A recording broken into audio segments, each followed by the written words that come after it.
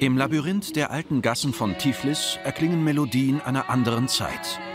Mehrstimmige Gesänge, deren sehnsüchtige Klänge das Leben der Georgier in Freud und Leid begleiten.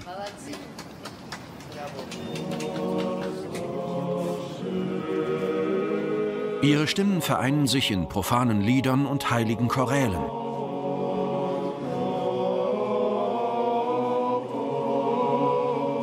Sie klingen durch die georgische Geschichte und stehen im Zentrum von Georgiens Gründungsmythos. Es heißt, als die Länder verteilt wurden, hätten die Georgier vor lauter Feiern vergessen, ihren Teil vom Herrn zu fordern. Doch mit ihrem Gesang bezauberten sie Gott so sehr, dass er ihnen das schönste seiner Länder überließ, jenes, welches er für sich selbst bestimmt hatte.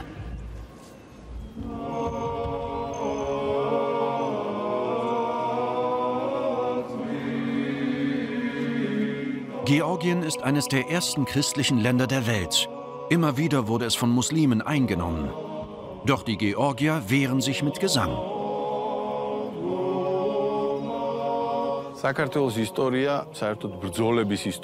Georgiens Geschichte ist von Kriegen geprägt.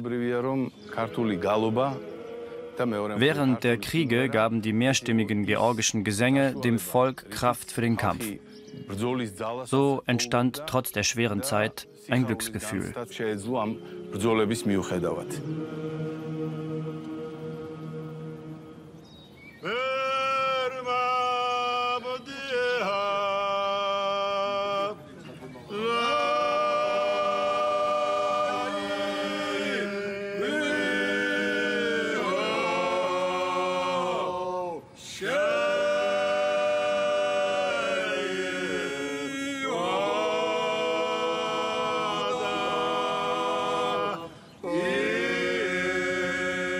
Svanetien im Nordwesten des Landes soll die Wiege der Polyphonie sein. In dieser Gegend, in der tapfere Krieger lebten, werden zwei Schätze von Generation zu Generation weitergegeben. Die Melodien und die mittelalterlichen Türme, Symbole der Region. Früher wachte man von dort über die Dörfer und warnte vor Gefahren.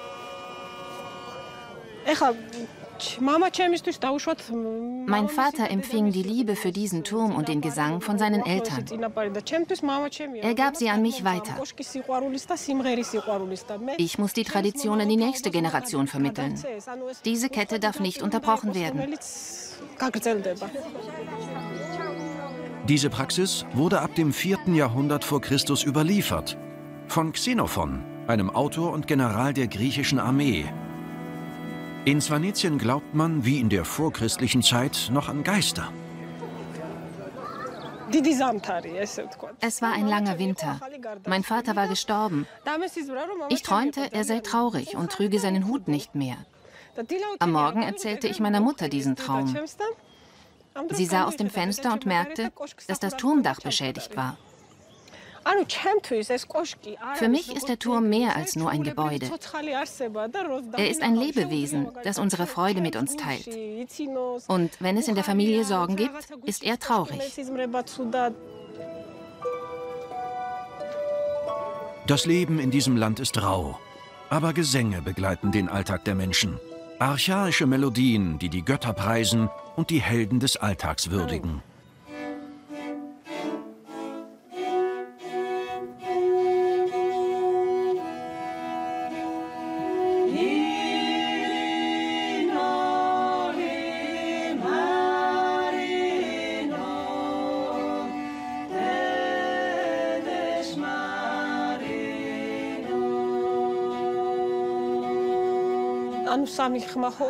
Die Chuniri hat drei Seiten, aber man spielt sie nicht einzeln. Man muss die drei Seiten gleichzeitig hören.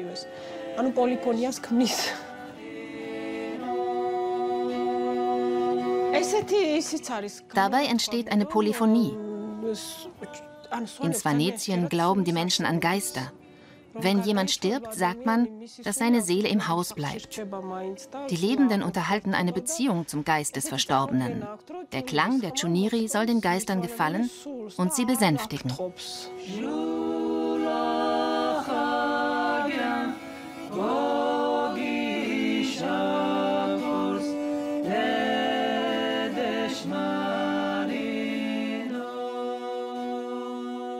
Diese Klagelieder beleben die Spiritualität des georgischen Volkes.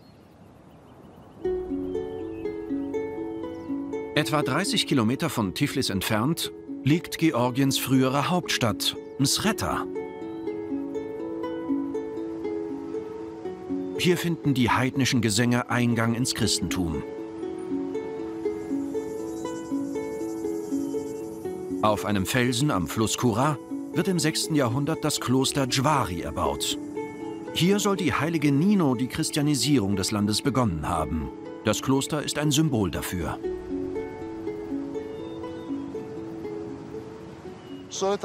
Die ersten christlichen Monarchen wurden hier getauft, am Zusammenschluss dieser beiden Flüsse. Dann wurde dieser Ort, der Fluss, die Kathedrale, das Kloster zum mystischen Zentrum Georgiens. Das georgische Christentum nimmt die Folklore auf und öffnet der Polyphonie die Tore seiner Kirchen und Klöster.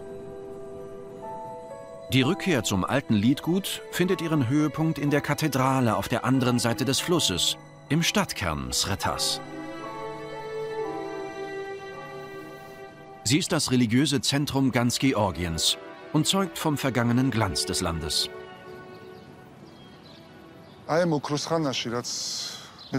Vom 11. bis 13. Jahrhundert erlebte Georgien ein goldenes Zeitalter. Es war die Blütezeit der georgischen Kultur. Die Kathedralen aus dieser Zeit sind mit reich verzierten Arkaden und wunderschönen Fresken geschmückt.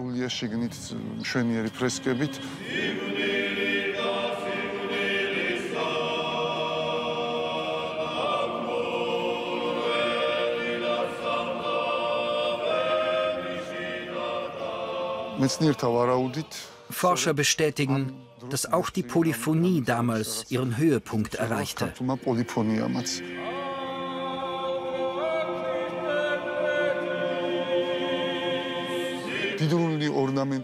In den damals komponierten Gesängen weist jede Stimme vielfältige Variationen auf. Jeder versucht, die andere zu übertrumpfen.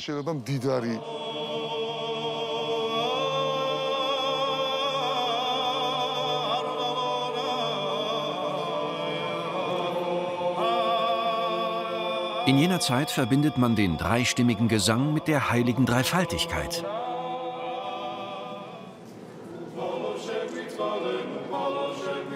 Diese Kunst wird vor allem an der mächtigen Gesangsschule der Kathedrale unterrichtet.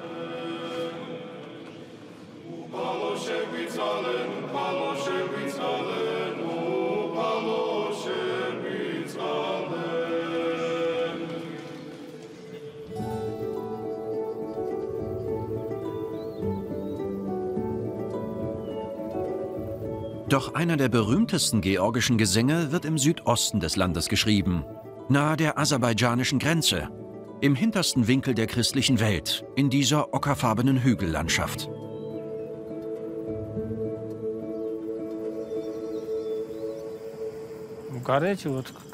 Zu Zeiten von König Demetre I. war das Kloster David Garetscha eine ganze Klosterstadt. Mehrere literarische Werke wurden hier übersetzt. Es gab eine Schule für Fresken und Ikonenmalerei. Das war ein bedeutendes Zentrum des Christentums.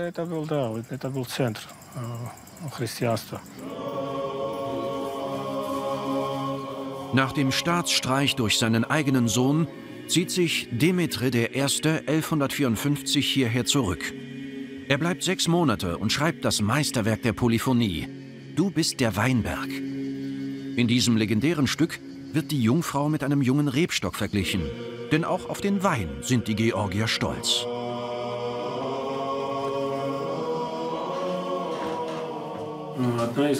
Dies ist eine Zelle unseres Klosters.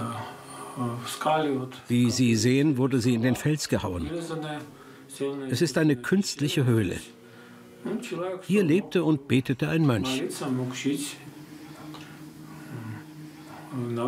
König Demetre I. muss in einer ähnlichen Zelle gelebt haben. Und dort schrieb er seinen berühmten Gesang.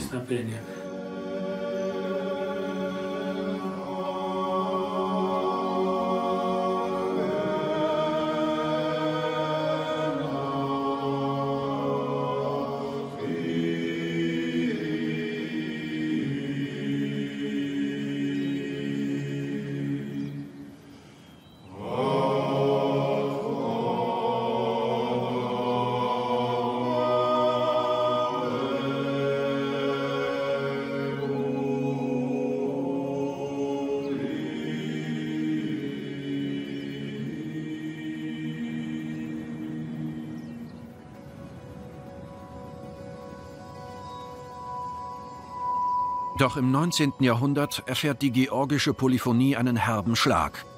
Die Samt Avissi-Kathedrale, 60 Kilometer von Tiflis entfernt, zeugt von diesen schweren Zeiten.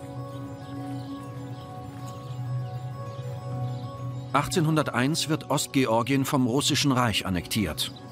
Die beiden Länder teilen zwar den orthodoxen Glauben, dennoch hebt Russland die Autonomie der georgischen Kirche auf. Die Messe wird von nun an auf Altslawisch gehalten und die liturgische Polyphonie wird aus der Kirche verbannt.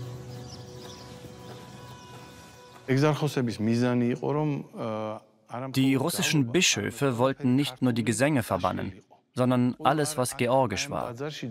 In dieser Kirche wurden die Originalfresken sogar mit weißer Farbe übertüncht. Sie wurden vor ein paar Jahren freigelegt. Die georgische Identität sollte ausgelöscht und durch die russische ersetzt werden.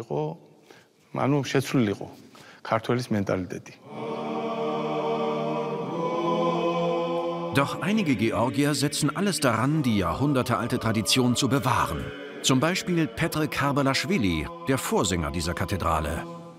Er gibt die Liebe zum Gesang an seine Enkel weiter, die dann Ende des 19. Jahrhunderts tausende georgische polyphone Gesänge retten.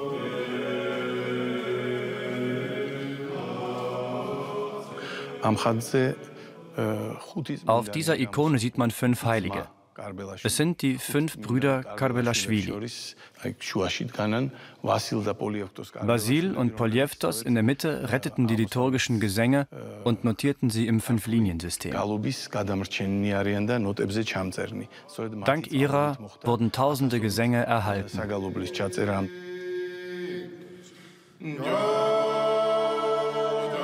Ein Jahrhundert später tragen diese Musiker ihren Teil zum Epos der georgischen Polyphonie bei.